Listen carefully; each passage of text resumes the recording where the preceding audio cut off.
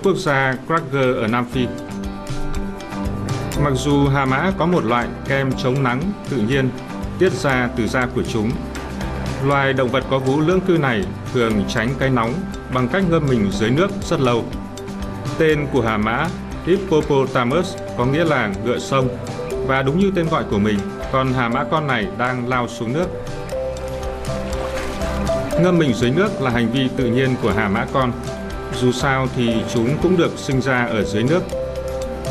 Còn hà mã con này háo hức muốn bắt đầu bài học bơi sáng nay, nhưng lớp học không thể bắt đầu cho đến khi cô giáo, chính là hà mã mẹ, xuống nước. Chúng ta không thể dục giá một con hà mã nặng 1.500 kg được. Cuối cùng, nó cũng có cơ hội để dùng chiếc kính lặn tự nhiên của mình. Đó là một công việc thật khó khăn. Chúng phải dành khoảng 16 giờ một ngày dưới hồ nước mát mẻ này. Vài con hà mã con đang tranh đấu rất quyết liệt. Các vết xước trên cơ thể cho thấy chúng đã từng làm điều này trước đây. Đối với hà mã con, đây chỉ là một trò chơi, nhưng khi trưởng thành, mọi cuộc đối đầu đều nhằm giành lấy sự thống trị.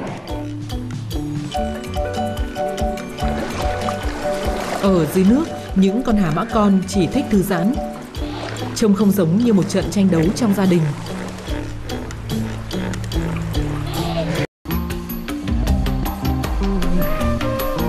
Nhiệt độ giảm xuống và hà mã mẹ đang động viên những đứa con đi tìm kiếm cỏ để ăn.